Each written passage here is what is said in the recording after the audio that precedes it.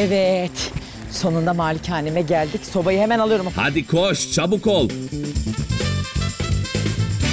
Evet şimdi. Bana yardım et bunun ucundan tutalım.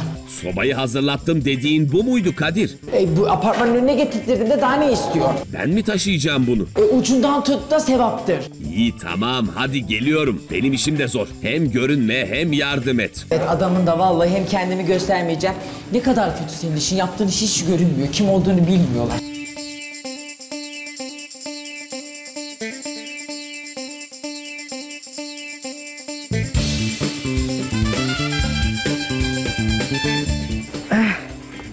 Evet, evet, evet, evet. Hiç sobayla da böyle bir arabada yolculuk eden yoktur herhalde. Hazır mısın? Ç- Evet, yan çevireceğiz.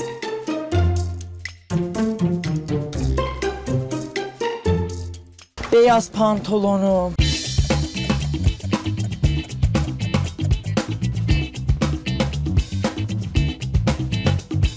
Kolay gelsin. Kolay gelsin. Sağ olun. Nasıl gidiyor? Güzel. Mutluyum, heyecanlıyım. Yarım saat geçmiş. Ne yaptın şimdiye kadar? Örümceklerimi aldım. Yerde böyle yem, yiyecekler vardı. Üzerine gelmiş onları topladım. Çöplerimi topladım. Şu arkayı süpürdüm. Böyle evet vaktim biraz geçmiş. Biz ilk izlemeye gittiğimizde yarım saat geçmişti. Daha cama bile tam girmemişti. Daha kornişi yapıyordu. O kadar boş bir mutfakta yarım saat boyunca fuzuli zaman harcamış. Yani Ben yarım saatte bu kadar yaptıysan... Yetişmeyecek gibi görüyorsun ama ben yetiştireceğim Allah'ın izniyle. Elif Hanım dün benim finalimde bana dedi ki sen hiçbir şekilde pratik değilsin. Bayağı pratiklikten bahsedip durdu. Ama o mutfak için o kadar yavaş olması kesinlikle komedi yani. Gerçekten komik. Kolay gelsin size. Tekrar Teşekkür geliriz. Kolay gelsin.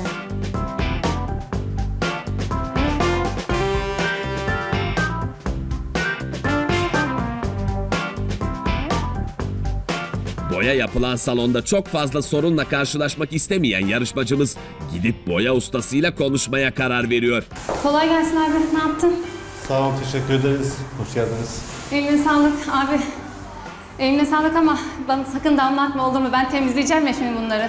Arkadaşlara fırsat vermeyelim. Tertemiz çıkayım ben buradan. Boya badana işleri biraz mecbur olacak bu kadar. Olabildiği kadar az olsun abi. Ama ama güzel olacak sonunda. Tabii güzel olacaktır mis ona eminim. Temizliği de benim için kolay olsun diye diyorum. Söylemeyelim de arkadaşlara. Camlarıma falan. Tamam. Ne kadar sürer abi burası? Ne kadar sürer? Bir yarım saat. Yarım saat. Yarım saat sonra da ben buradayım inşallah. Tekrar kolay gelsin. Eline sağlık. Teşekkürler. Kadir ne yapıyorsun? Dinleniyorum vallahi şu an keyfin tadını çıkarıyorum. Sen burada keyif yapa dur. Yarışmacın 45 dakikadır cam siliyor. Ne haber? 45 dakikadır bir kutu camı siliyor. Bak arıyorum Elif Hanım'ı. Al konuş yarışmacınla. Salonun mu mutfağın mı? Salon olur mu hiç? Salonda boya yapılıyor. Efendim? Kız Elif senin camın çıkmasa sen 45 dakikadır hangi camı siliyorsun öyle? Mutfak camını siliyorum ama tertemiz Kız- oldu. Bir şey diyeceğim ama onun bir kanadı var 45 dakika bir cam mı sildi? Ama boyaları çıkarttım. Kız bırak daha dün de bak dünkü de Zeynep de boyalarla uğraştı gördük ne olduğunu. İşte yok ama şimdi ben eleştirince aynı şey olmasın diye yaptım. Sen dışarıdan yıkadın mı onu? Açılmadı. Tahta varmış arkasına. Geçişte yok. Yapılmadı. Nasıl yaptın peki? İçteki e, camı kanadında tamamını. Sinekliği falan da hani aldım. Ha dışını silmeden 45 dakikayı geçirdin. Evet. İyi aferin öyle devam et Elif öyle devam et. Yok, Hadi bundan- bakalım. Tamam. Çabuk bak sana sabah ne dedim Elif hızlı bir şekilde olman lazım. Çünkü evin boş diye eleştirilebilirler ama detaylara girmen gerekiyor öyle bir evde. Ben de şey detaylara giriyorum. Peki Elif- hadi bakalım. Ama bir cam için 45 dakika çok fazla lütfen. Tamam tamam. Hadi Hızlanıyorum. orada yokum diye hiçbir şeyden haberdar değilim sanma sakın. Her yerde gözüm kulağım var. Tamam seni biliyoruz zaten. Peki.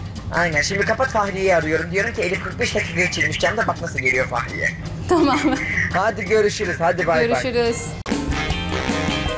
E, Elif'in mutfakta biraz yavaş kaldığını düşünüyorum. Neticede çok eşyası yoktu. Onu zorlayabilecek çok fazla bir yağ yoktu. Neden bu kadar yavaş hareket etti anlamadım gerçekten. Yağlı gözüktüğü gibi değilmiş. Yağ sökücüyle yumuşatacağım. Sonra telleyeceğim. Hayır o dolapların içinde yağ falan yoktu. Çok basitti yani mutfağım.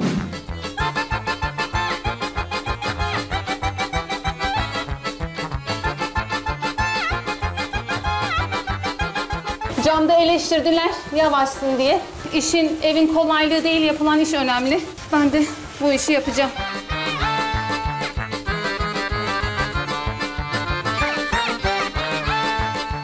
Elif'ten önce, Elif'ten sonra. Bizim günümüzden daha çok bugün sorumluluğu var. E, başarabilirse ama Elif biraz yavaş düşecek bu evde. Boya olacak, eşya gelecek. O yüzden biraz yavaş kalacak diye umut ediyorum. İlerleyen saatlerde göreceğim.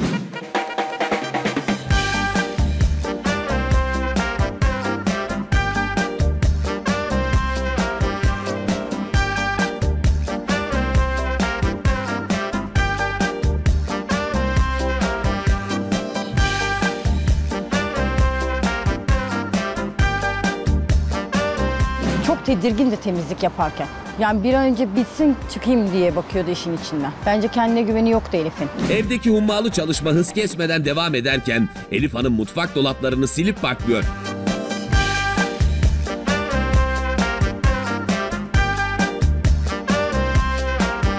Bu arada salonda ustamız duvarların ikinci kat boyasını tamamlıyor. Kadir Bey kapının açılmasını bekliyorsunuz herhalde. Ses gelmedi ne yapalım? Evet şu anda mağazamıza geldik. Ailemiz için en güzel mobilyaları seçip hızlıca eve götüreceğiz. Haydi bakalım. Evet. Kadir hayırsever bir firmamızın deposundayız. Buradan beğendiğimiz ürünleri piyasa fiyatının çok altında cüzi bir miktar karşılığında alabileceğiz. Peki biz buradan şimdi ne alacağız? Önce bir koltuk beğenelim, sonra zigon sehpa alalım.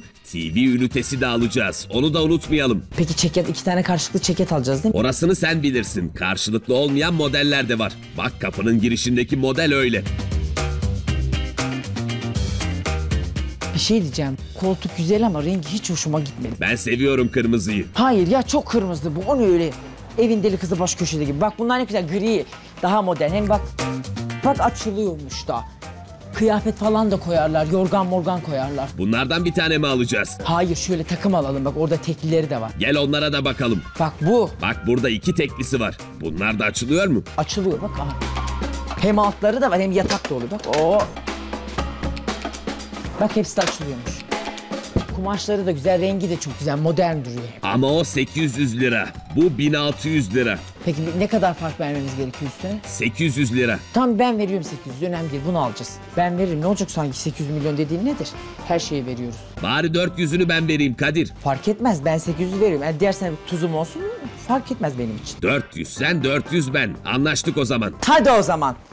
Evet muhteşem çekyatlarımızı aldık gördüğünüz yanı salona. Çok güzel gidecek bunlar. Sen bir de açık gri yaptırdın değil mi salonu? Tabii. Evet uydu. O zaman ne kaldı? Ne kaldı? Television kaldı. Artık televizyona da para vermeyelim. Yardım seferberliği yapalım dedik ama tüm para bizden çıkıyor. Olsun olsun. Sponsorlarımıza sesleniyoruz. Gelin birazcık. Biz ön ayak olalım önce. İnsanları çağıralım yavaş yavaş. Kadir, hazır konusu açılmışken buradan açıklayalım. İşin şakası bir yana bu alışverişleri bize destek olan hayırsever bir iş adamı sayesinde yapıyoruz. Kendisinin bize sağladığı bütçeyle hareket ediyoruz. Elimizdeki bütçeyi değerlendirerek hani uygun şeyleri alarak hepsini almak istiyoruz. Hani sadece bir koltuğa bütün parayı yatırıp da diğerlerini almamazlık etmek istemiyoruz. Doğru.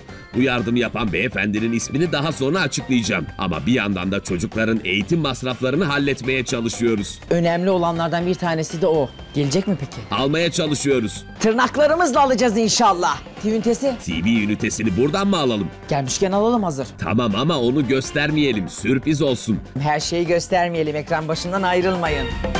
Ben para ödemeye gidiyorum. Görüşmek dileğiyle. Elif'cim kolay gelsin tekrar. Sağ olasın. Nasıl gidiyor? İyi gidiyor. Güzel gittiğimi düşünüyorum şu an. Çıkarta çıkart her şeyi. Şu an sürene göre gayet iyi gidiyorsun. E, camda oyalanmam herhalde sorun oldu. Elif camları temizleyeceğim diye bayağı oyalandı. O da bizim gibi vakit kaybetti camlarda. Çok hızlı olduğunu düşünmüyorum. Mutfakta çok uzun süre kalmış anladığım kadarıyla. Ya ben seni şu an çok iyi anlıyorum çünkü planlamada hepimiz ufak tefek hatalar Yani. yaptık haliyle panikten dolayı. Ama Ben de çok yapacağım. küçük detayları atlamamanı rica ediyorum lütfen. Tabii. Dikkatli ol. Kimsenin ağzına laf verme bence. Ya laf vermeyeceğim gibi şu anda zaten çoğu lafa da bakmıyorum. Sadece hani temizlikle alakalı şu an bana söyleyeceğin arkadaşların dikkat ettiği, eksik gördüğü varsa Ben bugün onun finalde kendini çok savunabileceğini düşünmüyorum açıkçası. Gerek yorgunluktan, e, gerek uğraşmak istememesinden olabilir. Bence finalde Elif çok sinirli olacak. Zaten o gerçek yüzünü orada göreceğiz Elif'in. Daha ben onu eleştirmedim yani. Üç gündür aynı eleştiriyi yapan zaten tek Fahriye abla Ha, onu diyorum, kişiliğini oynadı maalesef. Merve kimi görürse ona göre oynuyor. Bence Merve bu hafta güzel bir oyunculuk yaptı diye düşünüyorum. Kendiyle bizi karıştırıyor sanırım. Bilemiyorum. Yani o da olabilir. Çünkü diyorum ya biz daha kimsenin kişiliği hakkında yorum yapmadık. Kendisi öyle devam ederse biz de aynı şeyi yaparız. Yani ben onu söyleyeyim. Kolay gelsin Elif'ciğim. Teşekkür ederim. Sağ ol. Bence Merve Hanım Elif Hanım'ın o kullandığı iddialı cümlelerin arkasını dolduramadığını gördüğü için çok fazla eleştiri alacağının farkında olduğu için kendince uyarmaya çalışmış ama çok büyük bir eleştiri alacak zaten. Bunu hiçbir şey kurtaramaz. Kadir daldın gittin. Hadi geldik mi? Nereye geldik mi? Televizyon alacağız ya. Televizyonu ben halledeceğim. Sen inme. Niye inmiyorum? Hayırsever bir vatandaşımız var. Televizyonu ondan alıp geleceğim. Sakın arkamdan konuşma. Aa, estağfurullah. Aman sanki beni bilmiyorsun sen de. Ağzın bile aç. Şey diyeceğim. Bu gene bir işler çeviriyor ama beni indirmediğine göre kesin bir haltlar karıştırıyor. Bak bak bak gitti ama ne yapıyor acaba? İnşallah kutu kadar bir televizyon alıp gelmez. Bu arada Elif evde temizliğe devam ediyor. Bir buçuk saati geçti.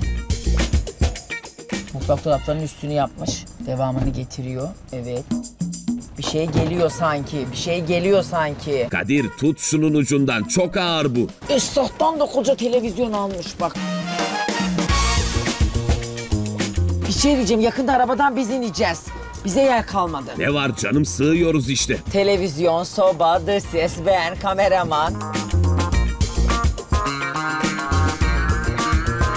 Hadi Elif, ben dedim ama dedin ki o gider en büyüğünü alır gelir dedi. İnşallah kutu kadar bir televizyon alıp gelmez. Hadi gidelim hadi daha Elif evde. Aklım orada kaldı.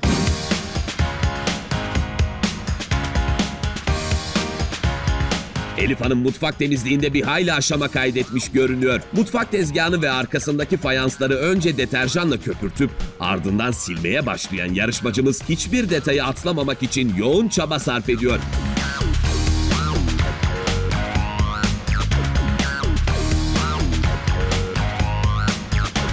Elif dün bana evin çok boş dedi. 3 saatte yapılır dedi. Kendinin evi 2 saatte bile yapılır. 2 saatte yapıp çıkmasını bekleyeceğim kendisi. Daha fazla video izlemek için kanalımıza abone olabilir. İlk izleyen olmak isterseniz bildirimleri açabilirsiniz.